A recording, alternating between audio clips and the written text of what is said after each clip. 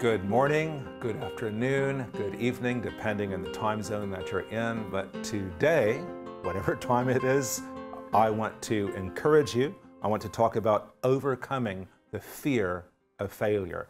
Overcoming the fear of failure. Now, I don't know about you, but I've had plenty of fear of failure, and it stopped me from doing so many beautiful things. Only when I get to heaven, and maybe, you know, God will allow me to kind of view where my fear of failure got me in life, I think we'll all be very surprised. But there's a wonderful scripture in Proverbs that's helped me a lot. And it says this Proverbs 24, verse 16. It says, The righteous person falls or fails seven times and rises again. Okay? I, I, mean, say if I rewrote the Bible and I said the righteous person only falls one time and hopefully will rise again. But it doesn't say that. It says the perfect, the, the person that's close to God, the, the righteous person, the holy person, you know, falls, fails seven times. That's a multiplicity of times, but he rises again. In other words, it's okay to fail. It's okay to, to have this fear of failure, but you know, we will rise again. So I don't know, maybe you've started a business. Um, I have started things in my life. I'm a guitar player. I remember when I first started giving concerts and I was so nervous. And I failed more than seven times. Even when I was preaching, I certainly failed more than seven times. Even when I started television, I failed more than seven times. I humiliated myself. I embarrassed myself. But somehow I pushed through that, and God enabled me to rise again. So if you think you're, okay, this is said the righteous person. Imagine if it said the stupid person or the idiot falls seven times. Okay, it doesn't say that. It says the holy person, the righteous person, the person that's close to God falls or fails seven times but rises again. So that's a that's a wonderful promise. So maybe you've fallen down. Maybe you're not happy where you are in life. Maybe you have all of these regrets and say, oh, yes, I, I deserve it. You know, look, I'm in this dead end life. Nothing's working out for me. But it says that you will rise again. So that's what we want to talk about today. Okay? In fact, I think our dreams are always on the other side of our failures. Think about it. Say if you want something that seems almost unattainable. I tell you, but your dreams, that dream that you have, is always on the other side of failure. I remember when I was 10 years old and I wanted to impress this girl called Carol. It's amazing. I still remember her name, and that's what, 50 years ago. And I, of course, you know, in those days, you thought you had to impress girls by doing, taking physical risks. So I climbed up this tree and I boldly told everybody that I was going to jump off the tree. And so I went on to the top of that tree and I was feeling all good about myself. And suddenly I looked down. And wow, it wasn't just the fear of jumping off the height, but I think the greatest fear was what if I failed? What if I didn't jump and I had to go down and face that girl? Man, they would mock me. I would, I, I would get, you know, people would be laughing at me and making jokes about me for the rest of the school year. So I knew I had to do it. But I was battling with that fear, the physical fear of jumping off. Maybe I'm going to die or get paralyzed. But I was also, you know, wrestling with the fear of that potential failure. So eventually I did jump off, you know. And I just remember the feeling. I sank down in the water, and I just could imagine her swimming over and giving me a kiss or something at 10 years of age. But none of that happened. I guess I didn't impress her. Maybe I should have went higher up. I don't know. But that's something, you know. It's like, like everything we want in life. Even when God gives us a commandment and says, "Kurt, I want to to start speaking on Revelation TV." Man, just coming on Revelation TV, I had a huge fear of failure because when Melanie started a Christian television station in South Africa, Um, she kind of hired me, you know, uh, to do a book report, a simple book report that I could probably do well without even having read the book now. But back then, I just froze and I failed miserably on television. And I didn't wait to fail seven times. I think I just failed once or twice. And I said, that's enough for me. I will never be on television again. I will never do that again. And then years and years later, we meet Howard and Leslie and uh, Gordon and Lorna, and they say, Kurt, we would like you to be on television. And immediately, the fear of failure hit me, and I said, There's no way my wife can do it. She was a television um, professional in South Africa, not me. But eventually, I think it took them a little more than a year just to encourage me to get in front of a camera and overcome my fear of failure. Now, I love this. I love talking to you guys. I'm so relaxed. There's no nervous. I just, I love people. I want to help people. This is probably one of the most joyful things I do in my life, being on television, communicating to people all around the world. It's lovely. But what, what if I caved in to the fear of failure? What if I didn't do that? What if I just shrunk back and I didn't press in? So again, the righteous person falls seven times and rises again. Um, one of my favorite presidents, probably not be too politically correct these days, was Theodore or Teddy Roosevelt. And he was a crazy guy. I mean, soldier of fortune. You just go on. I mean, you read his, his biography or his autobiography, and you can't believe that a human being with disabilities, okay, did as much as Teddy Roosevelt. But he had a lot of experience with overcoming his fears and talking about dream, even the dream of becoming president of the United States was on the other side of failure. And he says this It is not the critic who counts, not the man who points out how the strong man stumbles or where the doer of deeds could have done them better. The credit belongs to the man who is actually in the arena whose face is marred by dust and sweat and blood, who's falling seven times, I might add, who strives valiantly, who fails, who comes short again and again, because there is no effort without failure, no error and shortcoming. But who does actually strive to do the deeds? Who knows the great enthusiasms, the great devotions, who spends himself in a worthy cause? who at the best knows in the end, okay, the triumph of high achievement, and who at the worst, if he fails, okay, at least fails while daring greatly.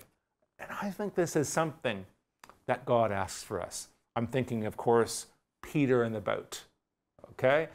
And Peter says, Oh, if that's you, Jesus, I want to come out and meet you right now. And Peter gets out and for a few minutes or a few seconds, he manages to walk on the water, and then he, think, then he sinks. But probably the other disciples in the boat are saying, man, if that was me, man, he should have just like not had faith. And you know, we tend to to kind of focus on his dirt more than his gold. But man, even if I was walking on water for five seconds, I would love to know the thrill of walking on water, even if I failed and I sank. And I could say to you on television, guess what, guys? Yesterday, I was just not walking on the beach, I was walking on the water on the beach. But I can't say that. That's never happened to me before. I, I, used a water ski and I tried water skiing once in bare feet. It didn't work out. I envy the people who tried. But, you know, if, if uh, our dream or God's call in our life is beyond, you know, the other side of our failure, we have to get used to this.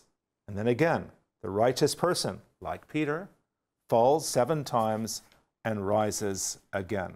So I want to share briefly three ways to overcome the fear of failure. Three ways that we can implement right now that will help us to overcome the fear of failure. Number one, very not too obvious, focus on the upside of failure. Failure always has an upside. Like Peter when he walked on the water, the downside was he sunk down in the water. The upside was that he actually spent five seconds walking on the water. So we can choose to focus on the downside of him sinking, okay, or the upside, him walking up on top of the water. And Michael Jordan, very famous basketball player in my country, in America, he says this I've missed more than 9,000 shots in my career. I've lost almost 300 games. 26 times I've been trusted to take the game winning shot, and I missed. I failed over and over and over again in my life, and that is why I succeed. The righteous person, you memorize this, falls seven times and rises um, again.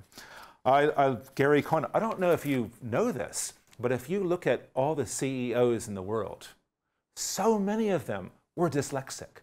So many of them had childhood physical conditions that they had to negotiate and overcome, but it made them stronger. It made them stronger because they focused on the upside of their dyslexia and not on the downside. For example, Gary Cohn, who's the, who is the president and chief operating officer of Goldman Sachs. In other words, a multi, multi millionaire. But he didn't start out like that. His teacher said to his mother, maybe, maybe, if he's lucky in life, he could be a truck driver. Okay? And so this is what Gary Cohn himself has to say about focusing on the upside of failure. My upbringing allowed me to be comfortable with failure. The one trait in a lot of dyslexic people I know is that by the time we got out of college, our ability to deal with failure was very, very highly developed. And so we look at most situations and see much more of the upside than the downside. Because we're so accustomed to the downside, it doesn't phase us. I've thought about it many times. I, I really have because it defined who I am. I wouldn't be where I am today without my dyslexia. I never would have taken that first chance. So, the Christian life, I can read that again. The righteous person falls seven times. And I could end. Oh, where's all your holiness getting to? You? Oh, you say Jesus is coming back. I could focus and I could stomp you down on the ground and make you feel so miserable. But that's what the devil does. It's true. God knocks us down sometimes, but not to stay down. He'll always pull us up. That's always his will. That's always an his intention. But I could take that verse and just focus on falling and failing seven times to the exclusion, and he rises again. You see? It's are you focusing on the downside of your life or on the upside of your life. And I love this in Joshua chapter 7, verse 3. It says, Joshua cried out to the Lord, O Lord, why have you brought us over the Jordan River if you are going to let the Amorites kill us? Okay? Why weren't we content with what we had? Why didn't we stay on the other side? O Lord, what am I to do now that Israel has fled from her enemies? For when the Canaanites and the other nearby nations hear about it, they will surround us and attack us and wipe us out. And then what will happen to the honor of your great name? But the Lord said to Joshua, What? Stay down? You know, stay down another two hours? No, he said, Get your face out of the dirt, get up. Get your face out of the dirt and get up.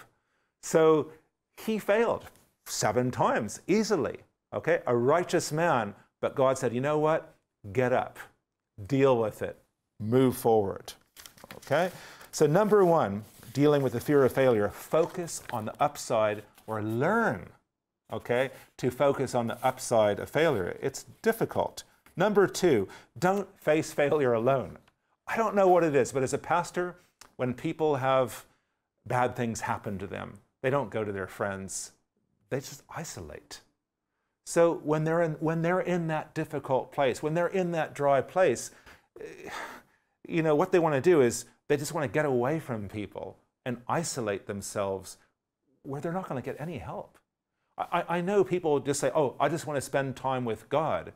But what if you're praying for encouragement and you go up to the mountain, I don't know, and spend the whole night there, God, encourage me, God, encourage me. And what if God says, hey, I've given you your friend Pete, actually, who lives in this neighborhood. Why don't you drive over there? Because I've given Pete the gift of, of discernment, the gift of encouragement. And when you go and hang out with Pete, then you will get encouragement. That's why Paul can write and to and he says, "Look, Epaphroditus, you've refreshed me." You see, you've refreshed me because God has gifted the church with people. But I've seen in my ministry for so many years whenever somebody is in usually in a difficult situation, they withdraw, they isolate themselves, and they try to face failure alone, and they just, oh, they, they shrink back, and then the patterns happen over and over and over and over again. But um, I like um, this book by Henry Cloud. It's called The Power of the Other. And he tells a story about his brother in law, who was this Marine. And unfortunately, he died a, a few years ago, I think, in Afghanistan. But his uh, a friend at the funeral of his brother-in-law, a friend was telling Dr. Henry Cloud, he was saying, I want you to know that your brother-in-law was an incredible hero. Not only was he an incredible hero, but he had the gift of encouragement. And he said, like, for, for example, me, when we were going, undergoing Hell Week, and I couldn't, we were swimming across this lake, I was going to sink, I was going to drown. I couldn't take one more, no matter what I did. I didn't have any resources, no power, no energy. I couldn't even do one more stroke. And it was your brother in law that said, You can do it. And it's when he said that, suddenly this energy and power entered him and he was able to do it. I don't know about you, but maybe you've had a teacher, a friend, a pastor, and you've had no energy, and that person just looks at you and says, You can do it. You can do it. So breakthroughs are not going to happen. They usually don't happen alone. They happen with other people. And that's what Ecclesiastes 4 9 says. Two are better than one because they have a good return for their labor. If either of them falls down, okay, one can help the other up. But pity anyone who falls and has no one to help them up. And if two lie down together, they will keep warm. But how can one keep warm alone? Though one may be overpowered, two can defend themselves. A cord of three strands is not easily broken. Folks, make deep friendships. Make deep friendships with good people. Number three, focus on the finish line. Don't focus on what's right in front of you, you're going to get depressed. Uh, I was taking a walk just a couple days ago, and I was just like focusing. I, you know, I saw the road, and it said, "There's no way I can get up there," you know.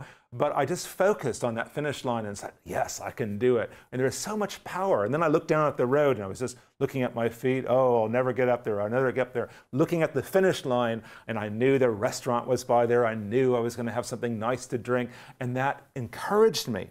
So I don't know if you remember an interview that Melanie and I did on Insight Live with Iona Rossili, who is a champion speed skier uh, for, for the UK. And she said, when she goes down that hill, okay, she says, and she's reaching like 160 miles per hour, something like that. She says, if one negative thought enters your mind when you're going down there, your life could be over. And they had to sew back. They had to sew back her, leg onto her because she did let a negative thought come. So I think really we have to focus on the finish line, not just what's in front of us. And that's what Hebrews 12 says. Therefore, since we are surrounded by such a great cloud of witnesses, let us throw off everything that hinders and the sin that so easily entangles, and let us run with perseverance the race marked out for us, fixing our eyes on Jesus the pioneer and perfecter of our faith. So I think this is important. I know when when you're learning the drive, you know, when I learned the drive and with a stick shift and so on, a manual, I would always like focus on the stick shift, focus on the road right in front of me, and then you know the driving instructor had to jam on the brakes because you know I was going to go off course. But now when I drive, I don't look at the gear shift. I don't look at the road directly in front of me. I fix my eyes on the horizon, on my destination, and that really um, helps me a lot. So I want to challenge all of us when to, the best ways of overcoming the fear of failure. Number one, focus on the upside of failure, not the sinking part, but the walking on the water part, you know. Number um, two, don't face failure alone. Even though everything in you says, I just want to be alone. I don't want anybody to know about my problems. I don't want to burden anybody. Look, there are people that would love to help you. All you have to do is ask for help. I remember Steve Jobs, for example, he said, never, the founder of Apple, he said, the secret of my success is I always found somebody who could help me. And he tells wonderful stories. So always ask. If you don't, you know, ask, you're not going to receive. And number three, um, don't face, not, it's not that, focus on the finish line and not the obstacles that are directly in front of you. And I want to leave you with this verse, uh, 1 Thessalonians chapter 5, 16 and 18, and go through it. It says, Rejoice always, pray continually, give thanks in all circumstances, for this is God's will for you in Christ Jesus. Isn't this amazing that, you know, often I read this to audiences. I, I was reading this to 400 non Christians in Geneva. It was amazing. And I just read this verse, I explained this verse, and this verse, and even though they were non-Christian people, and it was a non-Christian event, people came for prayer after after I shared this, even though they weren't believers. But check this out. Number one, it says this is overcoming the fear of failure. Rejoice always. This is hard. This is a skill. This is something that you have to cultivate. You know, there will always be, even though we failed, at the, even though we're down at the dirt, there is something, no matter how small it is, that we can rejoice. Like I can just say, God, whew, man, everything's going wrong in my life. okay, but uh, but I have this glass of water. I remember when I was first married, the first year of our marriage, and I had a terrible bicycle accident my face was all bloody and a tooth was out and Melanie looked at me, my wife, and burst out into tears. And, and then, uh, uh, you know, we didn't have any money at that time. And then Melanie's car broke down. She lost her job. And, and, things just got so bad. And of course, we knew that scripture, rejoice always. And, you know, God is not asking you suddenly your child dies and you have to rejoice like that. that that's cruel. But even when our son had cancer, even when we were in that situation, we found something, something very insignificant, small, and we rejoiced over that. And, and when we did that, it was amazing. Somebody put, say, the equivalent of 500 pounds through our window. Now, maybe somebody overheard us where we lived, so, you know, I, I still praise God for that. But then suddenly, um, we get a letter in the post, and we've received an inheritance of $50,000. that was great. And then we get a phone call from my father saying, I've just bought you two tickets to America. And then Melanie gets another couple of phone calls offering her so much work that she had to turn the work down. So I'm saying there's something really powerful. I don't want to say this is a formula, but something so powerful when we rejoice, when we, like Gary Cohn, the CEO of uh, Goldman Sachs, he said, we're accustomed other people are accustomed to seeing only seeing the downside of failure.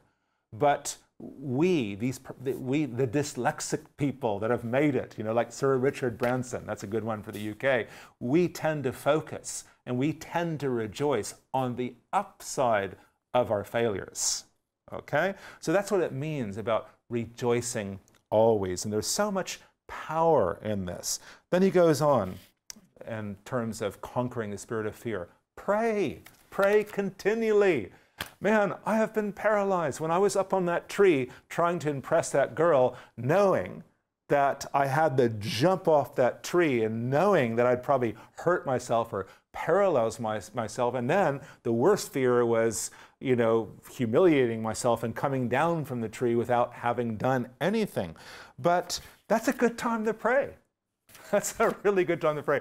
A friend of mine was working in Gibraltar, and uh, his working mate, there's like three of them, okay? I mean, two of them believed in, in God, my friend, and this huge guy, they believed in and God, and the, and the other one was an atheist. And they were having an argument, you know, about the atheist said, well, I don't believe in prayer or anything. And then, and then they're working on like the 20th story of a building, on, on, you know, cleaning windows or whatever. And so the big guy just takes the little atheist guy and hangs him off the ledge in midair and says, now are you going to pray? and I don't recommend that you do that. But prayer is powerful. And I like the prayers of Nehemiah. Nehemiah was, in all, was always in these fearful situations. Like he said, ah, Should I ask the king if I can leave my job and go back to Jerusalem? And can I get him to pay for it and send me a military guard in the way? Can I do this? Like, if I come across in the wrong way, Nehemiah was thinking, he's going to have my head. So Nehemiah felt fear, but what did he do? He did a short prayer under his breath. And I kind of do that. Like if I feel anxiety coming in me, like sometimes I, I, do, like fear will enter me. And I just take a deep breath and I just hand it over to God. Just say a short prayer and it makes all the difference. And I believe that's what it means to pray continually. Like always asking God for strength, always asking God to say, God, I'm walking on the water. I fear the storm. I fear that I'm going to sink. God, I need your help. I can't do it. And in my experience, he always answers you. I remember doing a wedding once, and, and nobody told me what to say, what to do. It was a very prominent wedding. I was walking down. I had no idea what I was going to say. I said, God, I prayed, help me, help me. And he did help me, and it was a very successful wedding. Then later, the power of gratitude. If you're feeling down, if you're fearful, just start giving thanks. And it says, give thanks in all circumstances, not in some circumstances. Give thanks in all circumstances, even when our son had leukemia, even when I was on the top of that tree. For this is God's will for you in Christ Jesus. So, what is God's will for you? Rejoice always, pray continually, give thanks in all circumstances, for this is God's will for you in Christ Jesus. So, just a short recap. Okay, we're talking about overcoming the fear of failure. Number one, focus on the upside. Don't face failure alone. And number three, focus on the finish line. God bless you.